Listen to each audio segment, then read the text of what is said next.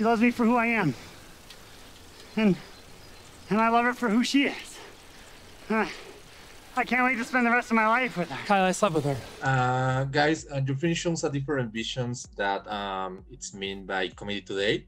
How was handling comedy for you and I think I think we have sort of a, an you know we grew up on American comedies, so we have this sort of love for you know classic American uh, comedies. But I think the thing that we also really have a shared love for is the sort of old silent film comedies, the like Buster Keaton sort of physical comedy that that that has this sort of universal appeal to it. And I think I think we responded to sort of both those things and and tried to figure out a way to combine you know our sense of cinema and the cinema we love to watch and those two sort of comedies the sort of broader american comedy but also the physical you know the physical comedy aspect of it. Uh, i love the film. I love the characters especially character of Gayle Rankin.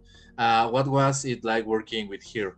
Uh, she's she's amazing. She's a, a brilliant actress um, who you know ha- has uh, a really just has done a lot of theater and um, so really brought um, brought exactly what we were hoping for in the role and that you know she was really comfortable living in the scenes for long periods of time and just immersing herself into the character and um, you know we would the, the, rehearsal process and and the the the rehearsal days would be very long and it'd be a lot of takes over and over again and and uh, Gayle was just amazing because we would continue to grow and mold and find new things in the performance as we got closer to our to our shooting day. So it, it was a, um, I mean, she she really embodied that character in a way that we we we couldn't be happier with. One of the point of the film is a friend, a concept of a friend. Uh, we see uh, what it means to be a good friend and the importance of realizing when someone is good or bad for you. Uh, and we also see the toxic romance. Uh, we love this concept.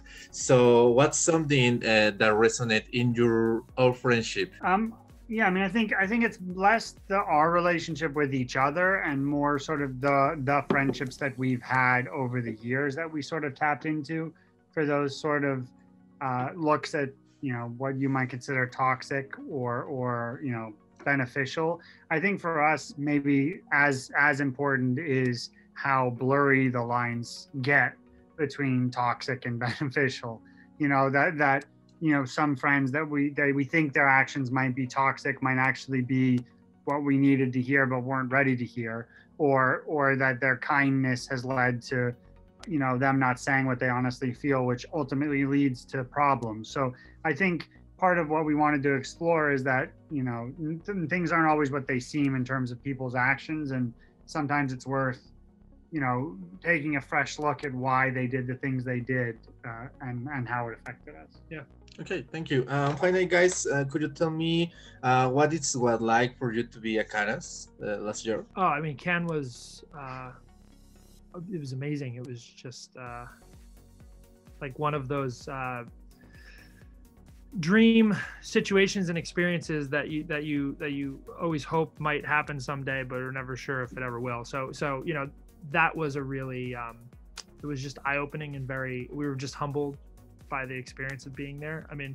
the films that we saw while we were there, we were blown away by, and and you know to to to be there and to uh, premiere the film and to have a really positive response and and to you know have that experience. I, I don't know if anything will quite match that ever. Yeah. ah! If I catch you, I'm gonna kill you. I know. That's why I waited for the hill. Ah, ah. Yeah, you got this. Mike, shut up. Dig.